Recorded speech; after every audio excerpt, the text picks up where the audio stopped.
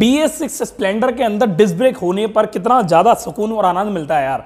क्योंकि एक normal brake और डिस्क ब्रेक में दोनों में बहुत ज़्यादा ज़मीन आसमान का फ़र्क है। पर अभी फ़िलहाल हम नॉर्मल ब्रेक की बात नहीं करेंगे।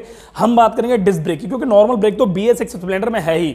अगर बात की जाए बी एस सिक्स में ए बी एस ब्रेक लगाना तो इसके लिए हम बाद में बात करेंगे। अगर आपको ए बी एस की पूरी वीडियो चाहिए तो मुझे बताना। जैसी ये वीडियो होने वाली है, वैसे ही एक और ए बी एस की पूरी वीडियो होगी। अभी फ़िलहाल बात करते हैं इसकी। ये स्प्लेंडर है प्लस बी एस सिक्स ठीक है, इसके ऊपर मैंने काफ़ी वीडियो बनाई है। बट अभी बात करता हूँ मैं Splendor plus B S six में। डिस्क ब्रेक कैसे इंस्टॉल करोगे? कौन कौन सी बाइक का इसमें आप पार्ट्स इस्तेमाल कर सकते हो, जिससे आपकी गाड़ी में लंबे समय तक डिस्क ब्रेक एकदम मक्खन की तरह काम करेगा, मलाई की तरह काम करोगे। तो अभी फ़िलहाल जो है, इसके अंदर लगी हुई है कॉम्बो ब्रेक कॉम्बो वाली ब्रेक लगी हुई है, ये वाली हमारी एक नॉर्मल ब्रेक है, और ये है हमारा आगे का लेवल तो अभी इसके अंदर हम क्या क्या करने वाले हैं, हम इसमें ग्लेमर का फ्रंट सस्पेंशन को यूज़ करने वाले हैं। ग्लेमर के फ्रंट सस्पेंशन में एलोविल आपको पता ही है ब्लैक कलर का होता है और ये सिल्वर कलर का। अगर आप ग्लेमर का आगे का सस्पेंशन उसमें यूज़ करना चाहते हो तो आराम से इजीली कर सकते हो। दिक्कतें क्या क्या आपको आएँगी? क्या क्या ये नहीं आएँगी, ये चीज़ मैं आपको आगे पूरी वीडियो में डिस्कस करूँगा। ज़्यादा देरी ना करते हो फटाफट से इसका आगे का तामझाम खोलते हैं और ग्लेमर गाड़ी की डिस्क ब्रेक लगा के फिट करके आपको दिखाते हैं और आपको चला के दिखाते हैं। पूरी कंप्लीट क्रिस्पी मज़ा आने वाला आपको, बढ़िया वाला। एंड में, या वीडियो के बीच में मैं आपको कुछ ऐसी बातें बताऊँगा इससे रिलेटेड जो आपके बहुत काम आएँगी और खर्चे से रिलेटेड कम खर्चे में डिस्क ब्रेक कैसे लगाओगे ये भी बताऊँगा डिस्क ब्रेक कैसे मेंटेन करते हैं ये भी बताऊँगा। तो ज़्यादा देरी ना करते हो फटाफट से खोलते हैं।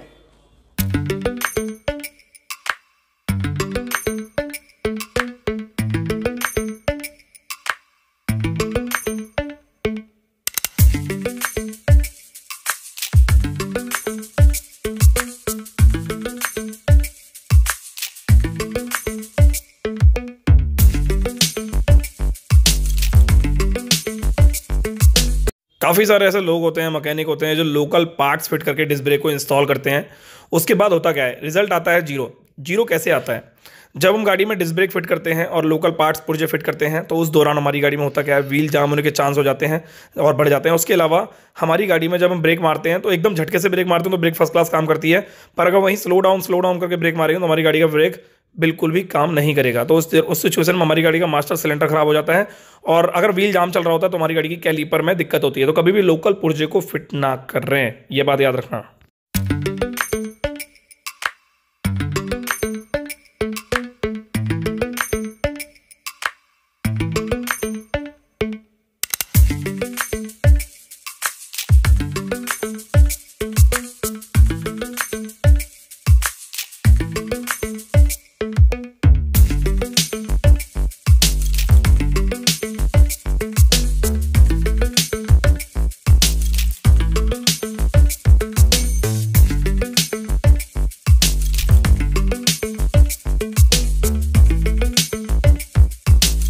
क्लेमर गाड़ी के आगे के सोकर हो गए हमारे और पूरा कंप्लीट अपर्टी के नट बोल्ट हो गए, सारे के सारे टाइट कर दिए हैं।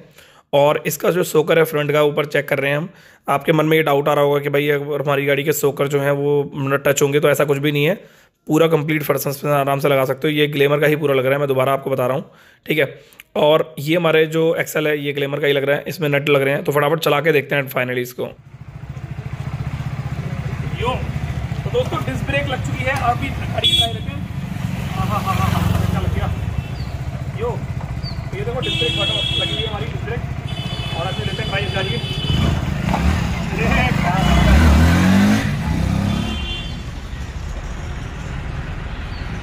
thousand years later. ये फ़र्स्ट क्लास मक्खन एकदम फ़र्स्ट क्लास डिस्क ब्रेक की मेंटेनेंस अगर आप चाहते हो तो उसके लिए आपको डिस्क पैड कम से कम आठ हज़ार किलोमीटर पे चेक करवाने हैं, या फिर उसको प्रॉपर तरीके से क्लीन करवाना उसकी कैलीपर को।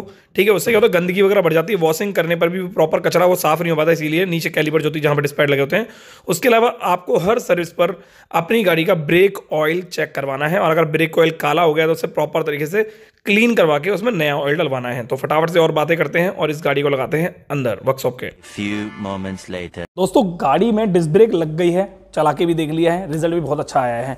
आपके मन में दो सवाल आ रहे होंगे। पहला गाड़ी की डिस्क ब्रेक को फिटिंग को लेकर पहला सवाल आ रहा होगा, इसकी जो ब्रेक की थी वो कॉम्बो है, वो कैसे मैनेज किया आपने? इसका मीटर कैसे चालू किया? और तीसरा सवाल होगा आपकी गाड़ी के लिए डिस्क ब्रेक की बैकलाइट कैसे चालू करी? देखो यार बैकलाइट चालू करने के लिए बहुत सिंपल स्टेप है। इसका जो ब्रेक स्विच होता है, उसकी जो ब्रेक स्विच से आप दोनों टायरों को अटैच कर सकते हो। और इसमें जो ब्रेक स्विच होता है, उसमें दो क्लिप लगा के आप अपनी ब्रेक लाइट को कन्फर्म मतलब परफेक्टली कर सकते हो, ठीक है? पहले उसकी पहला डाउट हमारा क्लियर हो गया। दूसरा डाउट क्या है? हमने गाड़ी की कॉम्बो ब्रेक को कैसे मैनेज किया? देखो यार, बहुत सिंपल है। आपकी जो कॉम्बो ब्रेक है, उसको आप बिल्कुल मतलब एकदम पूरा का पूरा सिस्टम जो है, उसका हटा दो। आपकी रियर ब्रेक जो है फ़र्स्ट क्लास काम करेगी। ये जो ब्रेक होती है, ये दूसरी वाली ब्रेक जो दिख रही है यहाँ पर इस ब्रेक केबल का सिस्टम जो है, यहाँ से आप हटा सकते हो परमानेंटली हटा सकते हो, बिल्कुल। तो क्या होगा, यहाँ से फिर ये सिंगल ब्रेक काम करेगी डिस्क ब्रेक यहाँ पे कॉम्बो नहीं काम करेगा, ठीक है? उसके अलावा तीसरा डाउट हमारा मीटर कैसे चालू किया? देखो यार, ये जो ग्लेमर वाली गाड़ी का है, ये है FI गाड़ी का सिस्टम जिसमें हमारा पीछे की तरफ़ सेंसर दे रखा था। आपको वो वाला मतलब वो वाला कंप्लीट सस्पेंशन यूज़ करना है, जिसके अंदर आगे की तरफ़ मतलब जो मीटर है, उसका गरारी का दे रखा है तामजाब एक बात और बता देता हूँ, अगर आप सोच रहे हो कि इसके अंदर आप ये लगाओगे तो आप लगा तो सकते हो, पर बहुत ज़्यादा मशक्कत करनी पड़ेगी। इसलिए बहुत सिंपल सा स्टेप है। आप पुराने वाली ग्लेमर का मॉडल लेना और उसकी डिस्क ब्रेक का तामझाम इसमें लगा देना। यहाँ पर आपको करना क्या ना लोवर टी में कोई जुगाड़ करना, ना ही किसी चीज़ में नट बोल्ट में जुगाड़ करना है। सारा का सारा नट बोल्ट जितना भी है, सब स्प्लेंडर का लग जाएगा गाड़ी में। एक्सल जो है, वो भी हमारा जो इसका एक्सल होता है, वो भी लग जाएगा। और ग्लेमर गाड़ी का एक्सल है, वो भी लग जाएगा। दोनों ही एक्सल जो है, लग जाएँगे। एलोविल की बात करते हैं और टायर की बात करते हैं। इसकी जो टायर की जो फिटिंग है, वो भी आपकी ग्लेमर में एलोविल में लग जाएगी। और उसके अलावा इसका जो टायर लगा हुआ है, इसमें भी फिट हो जाएगा प्रॉपर तरीके से। वैसे मैंने पूरा एलोविल जो है, इसके अंदर उठाकर डाला है। और डिस्क ब्रेक पूरी उठा के डाली है सिंपल स्टेप में। अब मैं इसको प्रॉपर बाहर निकाल के दोबारा से हटा दूँगा सिंपल बना दूँगा। सिर्फ़ मैंने आपके लिए किया ताकि आपको ये सब चीज़ें पता रहे, क्योंकि काफ़ी सारे लोगों की मैंने वीडियो देखी है। वो पूरा डीप नहीं बताते हैं तो जो कि बहुत गलत है डीप बताना चाहिए। ठीक है, वो सिर्फ़ दिखा देते हैं ऊपर ऊपर हाँ डिस्क ब्रेक लगाई और बस हो गया काम, ये सब नहीं है। डिस्क ब्रेक लगाने का खर्चा कितना आता है? जो सबसे ज़्यादा ज़रूरी चीज़ होती है। देखो डिस्क ब्रेक लगाने के लिए जो खर्चा, देखो यार एलेविल की बात की जाए तो एलेविल बहुत महँगा पड़ेगा अगर आप नया लेके आओगे तो ठीक है? डिस्प्लेट होती है मैं मैं सारा नए का खर्चा देता हूँ, एक आइडिया देता हूँ, ठीक है? एलोविल को ले लेते हैं हम, तीन, साढ़े तीन हज़ार रुपये ऐसा एलोविल आएगा, ठीक है? एक आइडिया बता रहा हूँ एक्जैक्टली नहीं है, जो एमआरपी होती है इस पर होती है, ठीक है? हमारी डिस्क ब्रेक हो गई, हज़ार रुपये के आसपास की प्लेट ले लेते हैं, एक आइडिया बता रहा हूँ। पूरी कैलीपर की बात कर रहा हूँ, बारह बारह से तेरह सौ रुपये के आसपास की कैलीपर ले लेता हूँ, ठीक है? कैलकुलेट करते रहना। ये जो डिस्क ब्रेक का पाइप है, इसको ले लेता हूँ, साढ़े तीन, चार सौ मतलब एक तरफ़ अप्रोक्सीमेटली छः से सात सौ रुपये ले लेता हूँ, ठीक है? क्योंकि इसके अंदर क्लिप भी होती है अलग से। पूरा मास्टर सिलेंडर ले लेता हूँ, चौदह सौ से तेरह सौ के आसपास का आता है। और इसके नट बोल्ट ले लेता हूँ टोटल ढाई सौ की किट होगी पूरी। उसके अलावा आपकी लेबर की फिटिंग फिटिंग जो भी होती है वो, और उसके अलावा आगे के दोनों सोकर। ये सब कुछ मिला के आप अप्रॉक्सीमेटली मान लो दस से साढ़े दस हज़ार रुपये आपकी गाड़ी में खर्चा आराम से बैठेगा हँसते हुए। वहीं अगर आप किसी, आपके पास कोई ऐसी स्प्लेंडर या फिर ऐसी कोई मतलब पुराना मॉडल पड़ा है जिसमें डिस्क ब्रेक लगी है, और वो ग्लेमर है, या वो पैसन एक्स देखो पैसन एक्सप्रो की मत लगाना पैसन एक्सप्रो के नहीं लग पाएँगे, बहुत दिक्कत होगी आपको।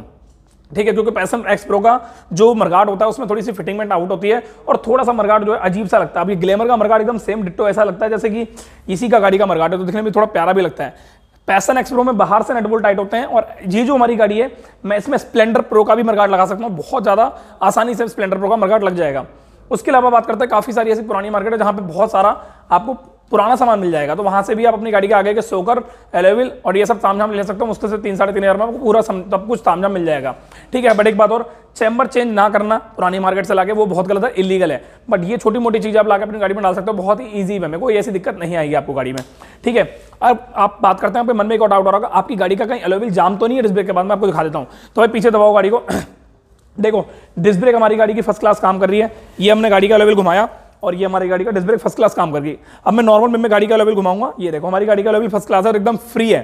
ठीक है? एकदम फ्री है। और एक बात और बता देता हूँ अगर गाड़ी का लेवल आपको लगता है टाइट है, जाम है, सही नहीं है फ्री नहीं है तो समझ जाओ, जिसने मैकेनिक ने डिस्क ब्रेक फिट करी है, या तो उसने कहीं ना कहीं कोई कमी छोड़ी है, या फिर आपकी गाड़ी की कैलीपर ऊपर की सही नहीं है, या फिर आपकी गाड़ी की डिस्पैट सही नहीं है।